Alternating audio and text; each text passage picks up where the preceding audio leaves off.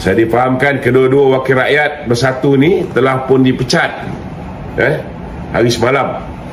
Oleh bersatu dan keputusan untuk mengarahkan eh, mereka mengusungkan kursi parlimen dan DUN seperti yang dikatakan oleh Hamzah Zainuddin bergantung pada SPR saya nak beritahu dengan Hamzah jangan bodoh kan sebenarnya bersatu inilah yang parti yang paling bengap kerana bila mereka pecat dua orang ini dua orang ni dah bebas tuan-tuan nak masuk parti mana pun. Dan kursi dia orang tak boleh kosong. Eh, kursi dia orang hanya akan kosong kalau dia orang lompat parti. Tapi kalau dia orang dah dipecat dia orang nak masuk parti apa pun boleh. Ha, ini bengapnya bersatu ni saudara. Tak belajar melalui UMNO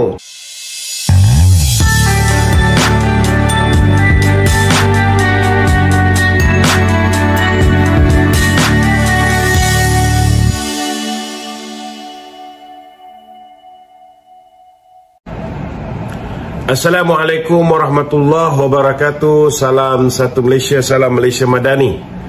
Sebelum salat Jumaat hari ini Sesedara saya nak menjawab satu isu Berkaitan dengan fitnah yang dilontarkan oleh Susagung Bersatu Iaitu Hamzah Zainuddin. Saya amat tertarik dan terkesima tuan-tuan eh, Dengan ceramah Panglima Minyak Masak Parti Bersatu ni.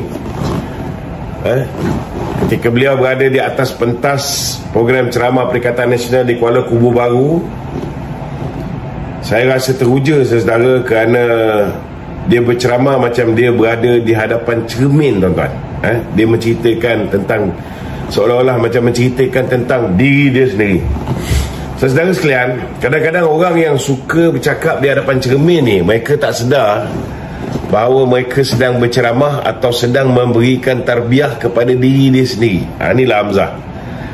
Paling teruk orang jenis ni adalah mereka ni eh, seolah-olah macam lupa diri. Itulah yang terjadi kepada Panglima Minyak Masak Bersatu ni tuan-tuan. Dalam ceramah tersebut bukan main lagi Panglima Uban ataupun Panglima Minyak Masak ni mengherdik Datuk Seri Zahid Hamidi, eh, Presiden AMNO cakap dan tuduh macam-macam.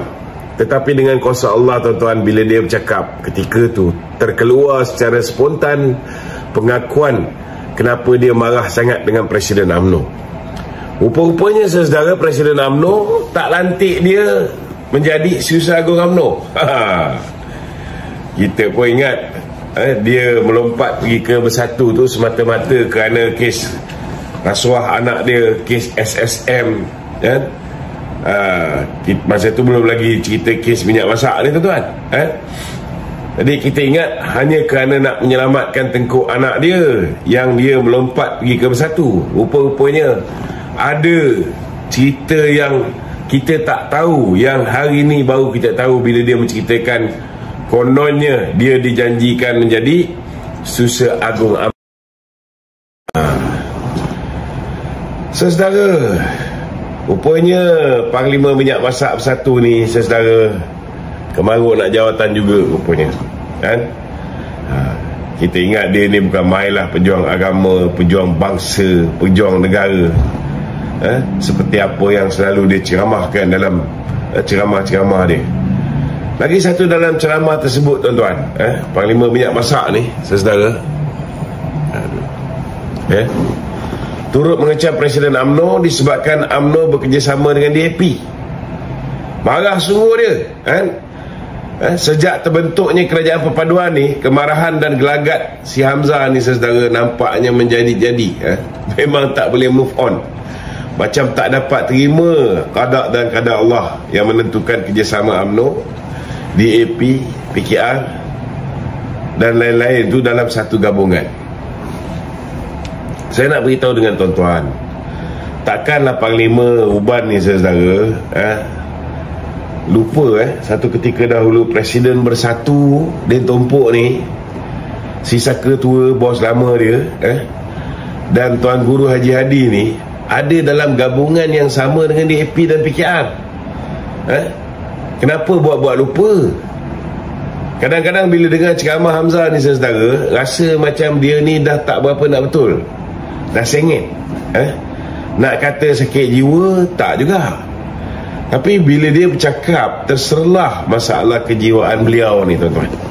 Ha, pandai pula komen pasal Presiden AMNO ha? pasal Presiden bersatu satu haram pun dia tak pernah kritik tuan-tuan. Ha, cubalah ulas sikit pasal keputusan Mahkamah Rayuan berkaitan dengan Presiden kamu yang Mahkamah kata bahawa Presiden kamu Din Tompok ni tidak diperdaya ha?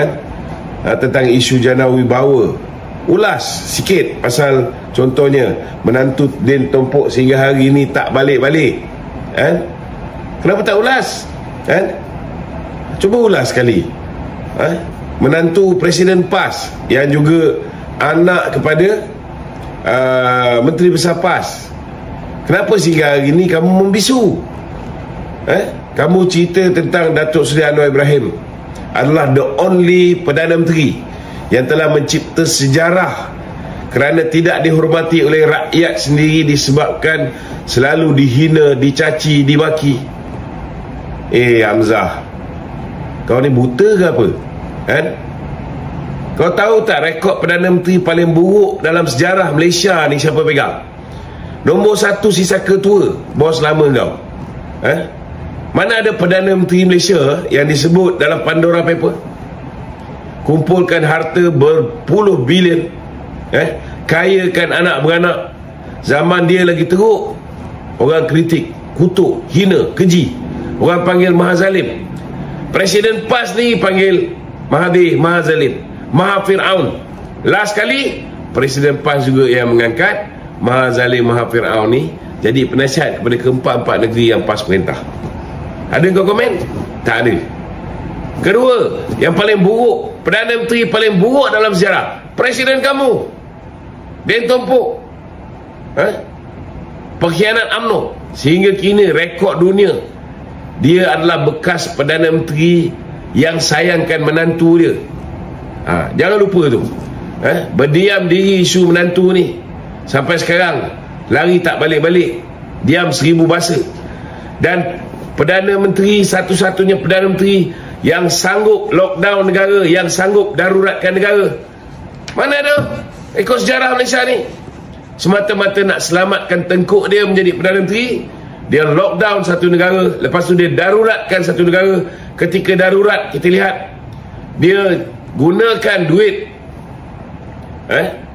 Duit negara tanpa dibawa ke parlimen saya nak beritahu saudara hasil siasatan pihak SPRM akhirnya mendapati apa berlaku eh projek-projek jana wibawa yang sepatutnya diberikan kepada kontraktor-kontraktor Bumi Putra akhirnya yang dapat manfaat toke hilang perabot kawan kepada Nikaji ataupun kawan kepada Din Tompok ni ha. ketiga kamu sendiri ni Hamzah eh? tapi bukan Perdana Menteri lah kan? hanya Menteri uh, dalam negeri ha. sebenarnya kamu adalah salah satu the only eh, home minister dalam dunia ni yang diberi peluang uh, anak sendiri pun ha, meniaga minyak masak dan sorok minyak masak ha, ketika ketika kamu menjadi menteri KPDNKK ha, ini jangan lupa eh? jangan lupa Cik Hamzah we. Ha. Selain tu kamu juga eh, ada mention bahawa kamu Jidin Nur Omar Syedan Kasim dan lain-lain geng pengkhianat ni eh? kamu adalah menteri kabinet terbaik kabinet terbaik ijadahnya eh? manakala menteri-menteri ataupun kabinet sekarang ni eh, tak pandai buat kerja menyusahkan rakyat eh Hamzah eh? teruk sangat kamu angkat diri kamu sendiri ni eh? Isi baku orang kat sendiri over cubalah fikir sikit kan ingat balik apa yang kamu buat apa yang timbalan-timbalan nanti kamu buat ha? nak tahu apa ha?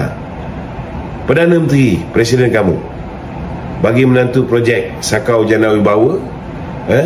dan zaman dia jugalah kita tengok judi daripada 8 kali melompat menjadi 22 kali ha? special draw ha? kemudian Jemi nak menyelamatkan tengkuk dia jadi Perdana Menteri kita tengok perlis tu angka covid rendah tapi bila dia lockdown eh, Lockdown je lah Parlimen tu kalau takut Orang buat undi tak percaya kenapa kena lockdown satu negara kenapa kena buat orang tak boleh keluar cek makan secara sempurna ha? kenapa ada pihak ha? dalam essential services dibenarkan bekerja yang tak essential tak dibenarkan bekerja akhirnya ramai tak boleh bagi anak bini makan. Akhirnya ramai yang berhutang. Akhirnya ramai yang mengemis duit kena beli SP akhirnya ramai yang ambil hutang dengan along tak boleh bayar. 143% meningkat kadar orang bunuh diri zaman Perdana Menteri datang daripada parti kamu. Tahu? Ha? jangan lupa tu. Masa tu siapa Menteri KDN kamu. Ha? kamu Menteri KDN ha? Menteri Wilayah siapa kalau bukan Syahidan Kasim ha? minta rakyat KL call direct ha? Menteri kalau ada jalan berlubang bila rakyat call tak jawab ha? Timbalan menteri kamu Mak Jagon tu ha? Minta kerajaan citak wang Untuk bantu rakyat Masa ha? time covid ha? Dia ingat ni zaman Macam zaman uh, Jepun dulu Boleh citak duit daun pisang Pakai otak lah sikit Hamzah ha? Menteri pendidikan ni Digelar menteri Menteri paling gagal ha? Dari segi kepimpinan Bila isu keselamatan pelajar lambat ditangani Tahun 2021 Jangan lupa tu kita ni masih fresh dalam memori kita sebenarnya banyak lagi kalau nak disebutkan eh? tetapi memadailah apa yang dinyatakan setakat ni bila kamu Hamzah cuba tunding jari kepada orang lain jangan lupa eh, bila kamu tunding satu empat jari tu pergi ke kamu tau. Eh? empat jari lagi pergi ke muka kamu. Bila kamu marah 6 MP bersatu sokong Perdana Menteri kamu lupa yang kamu juga adalah pengasas kelab katak Malaysia.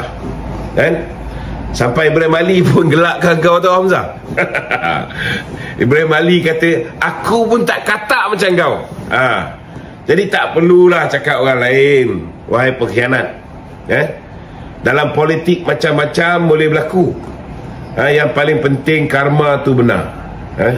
hadap karma ni kerana karma untuk bersatu dan Perikatan Nasional adalah disebabkan ya, dari kekotoran tangan-tangan kamu sendiri untuk pengundi di Kuala Kubu Baru bulatkan tekad dan kuatkan semangat kan tolak Perikatan Nasional berikan undi kepada calon kerajaan perpaduan ha? Puan Pang Sok Tau insyaAllah tuan-tuan calon nombor dua akan ditabalkan menjadi ahli Dewan Undangan Negeri Kuala Kubu Baru yang yang baru pada hari esok eh 11 hari bulan insya-Allah. Okey, ada lagi? Soalan lain? Ha, silakan. Berapa minit lagi? Ha, ada lagi 10 11 minit.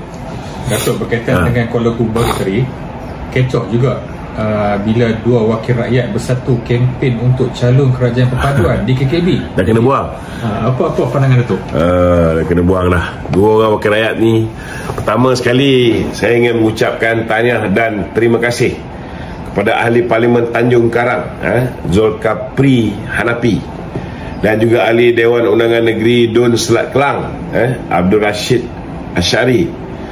Kerana anda berdua telah membuktikan bahawa Perikatan Nasional dan Bersatu adalah parti yang tidak boleh dipercayai. Walaupun mereka buat pindaan perlembagaan dia ingat dia boleh tutup mulut orang dia ingat dia boleh takutkan ahli-ahli parlimen dan Dewan Undangan Negeri malah selepas pindaan perlembagaan itu kita lihat dua orang ahli parlimen eh, seorang ahli parlimen dan seorang lagi ahli Dewan Undangan Negeri ini bertindak secara terang-terangan lawan keputusan yang dibuat oleh Bersatu ni tuan-tuan. Tindakan ahli Parlimen Tanjung Karang dan juga Adun Selat Kelang ni eh, berceramah dan berkempen untuk calon kerajaan perpaduan di Kuala Kubu Baru mencerminkan apa yang diperkatakan oleh Hamzah tadi eh, berkenaan Bersatu kuatlah eh, adalah tidak benar dan retorik semata-mata. Eh, sebenarnya yang sedang retak menanti belah ialah bersatu tuan-tuan. Dia cuba nak tunjukkan eh, kerajaan perpaduan ini goyah dan sebagainya. Last kali yang terselah goyah ialah mereka. Hari ini kita tengok di Perlis kan?